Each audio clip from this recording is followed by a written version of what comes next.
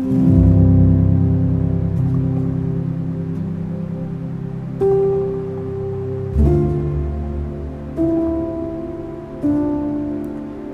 morning to everybody that follows us uh, with the message for the day every day. Today is February 9th.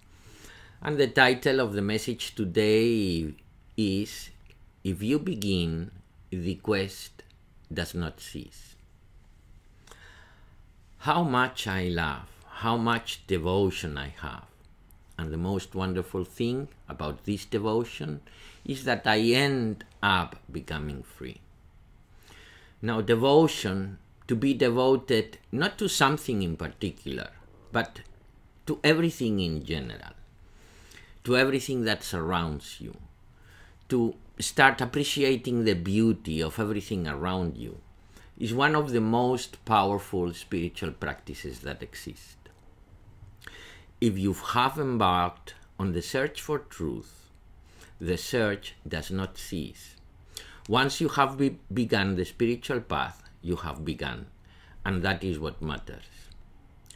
Once you have glimpses of what true actuality is, once you have glimpses of that that is manifested, you are so amazed.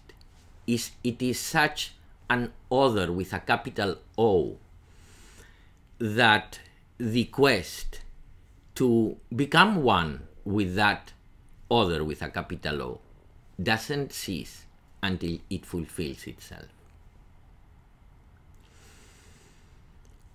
Give a person spiritual wisdom without any ulterior motives or attachment, and that wisdom will perpetuate itself. It will grow.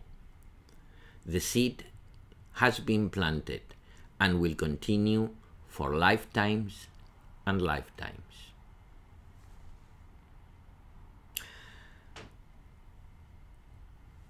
In a way, everybody that is in this quest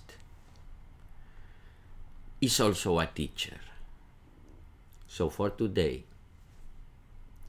be a teacher. Be aware, listen, look, and be aware.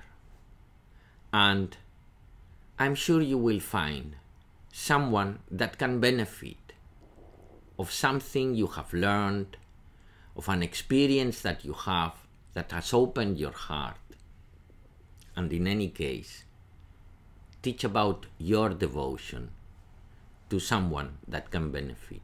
And that seed, that seed planted, will grow by itself. So for today, teach. And remember, it's only one day, it's only one practice. Tomorrow will be another day, and I'll see you tomorrow. Have a beautiful day today. Namaste.